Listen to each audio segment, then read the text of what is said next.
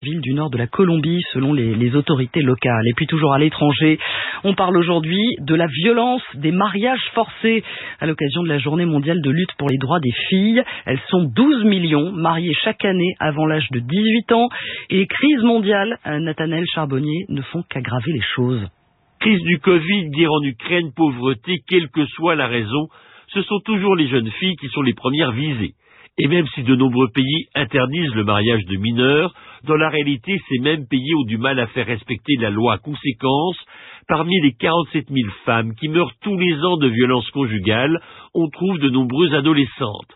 Certaines succombent suite à des complications liées à leur grossesse, car elles ne sont pas en âge d'avoir des enfants, comme l'explique Camille Romain Desbeaux, directrice de Vision du Monde. Théoriquement, à partir du moment où on a ces règles, on peut euh, techniquement euh, avoir un enfant, mais le bassin, le corps de la jeune fille de 12-13 ans n'est pas fait pour avoir un enfant. Donc euh, toutes ces grossesses qui ont lieu très tôt sont effectivement des vecteurs de grand danger pour la maman, la toute jeune maman, mais également pour l'enfant à naître puisque ces enfants euh, vont en général avoir des problèmes de poids, des problèmes de développement.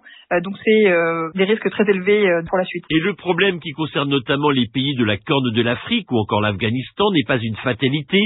Vision du Monde note des progrès au Bangladesh, par exemple, où grâce à un travail en profondeur et dans le temps, l'association constate une évolution des mentalités et un recul des mariages précoces. Plus de 100 millions de filles vont être mariées dans la décennie à venir, c'est à dire sur franceinter.fr.